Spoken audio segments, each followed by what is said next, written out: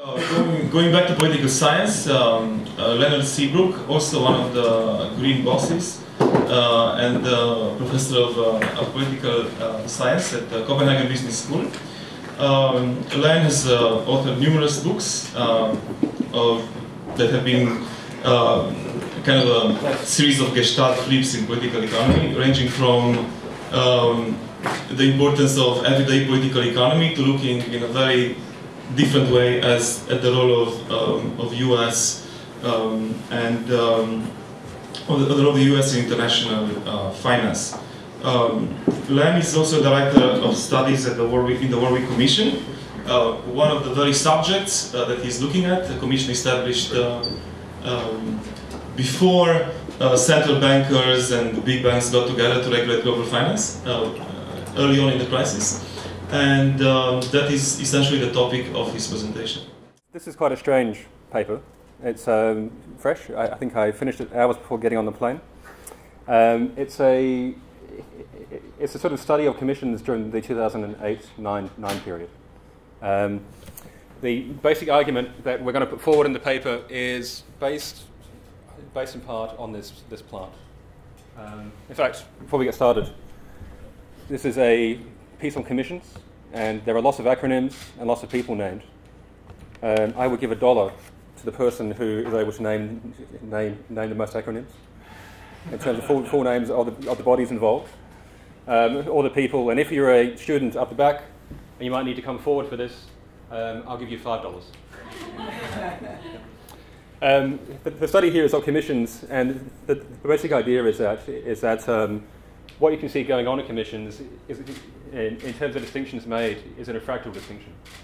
And by, by fractal distinction, we mean that, like, like a plant here, that, that um, once, once you make a distinction based on one topic, the kind of distinction made makes itself again in the next time around. Uh, and I'll explain why, why it's important.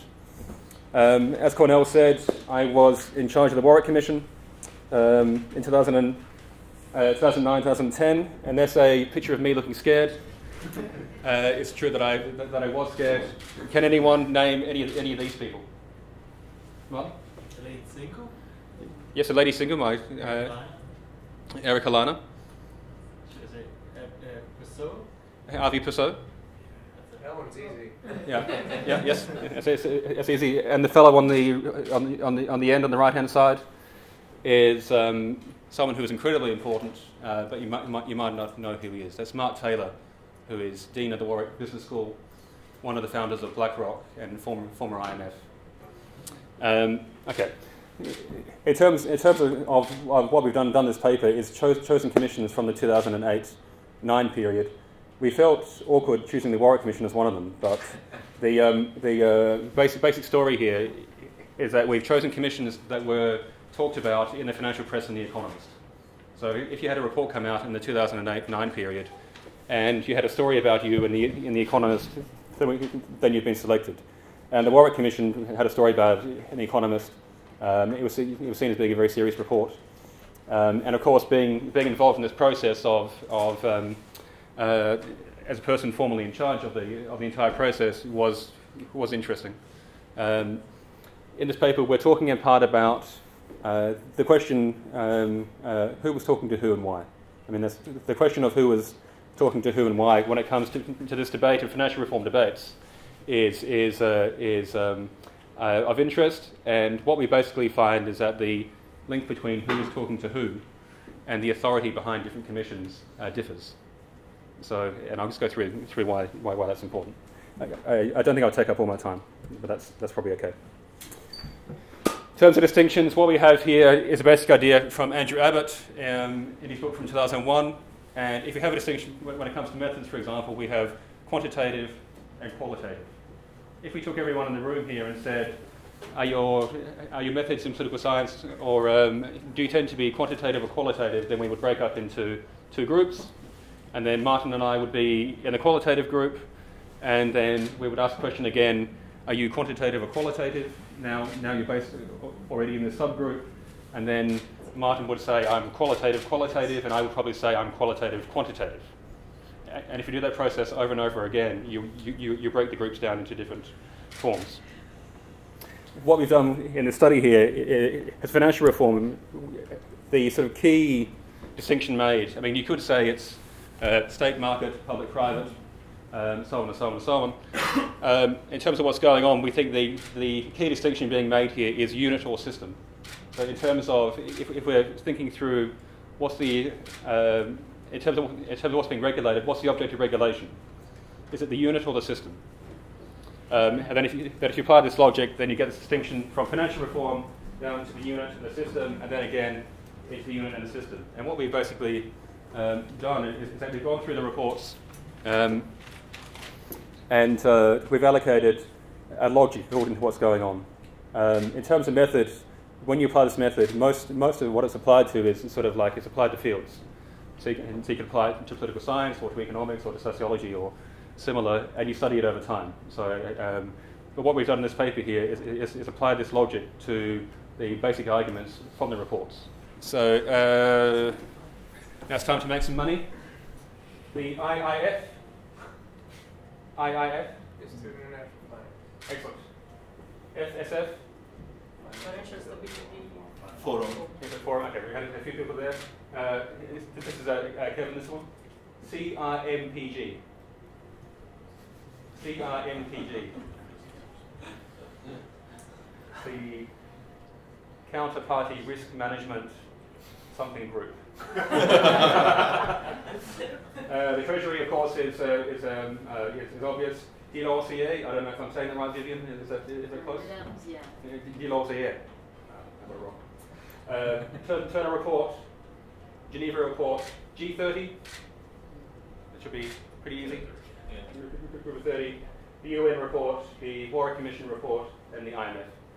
Um, if we so look through these reports in terms of the logic when it comes to the unit and the system, and then break down, break down the logic, they really do vary quite a lot. So they go right, right from the uh, left-hand side here where it's unit, unit, unit. So this is basically saying regulate the bank in a different way. Regulate the bank in a different way. Regulate the bank in a different way. Regulate the bank in a different way. Don't do anything to the system.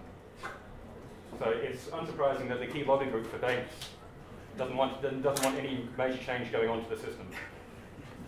Um, and then if you go to the, the other extreme over here, the IMF, that the this, the report here is from the IMF staff. Um, the, the, the, report that came out didn't have the authority of the board. So, and that's saying you regulate the system, you regulate the system, you regulate the system, you regulate the system. There's no detail in that report on what to do with banks inside countries because they don't want to offend anyone.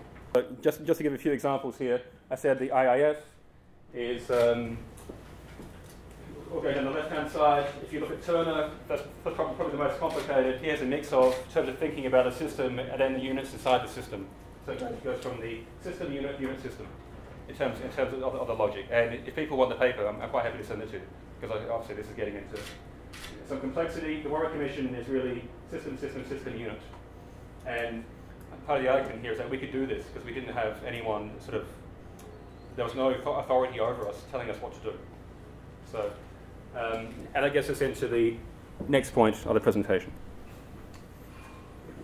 Um, what we found, certainly during, during the experience of the Warwick Commission, and what we find in these reports, is that you have an incentive as, as a professional to make sure that you're in the game.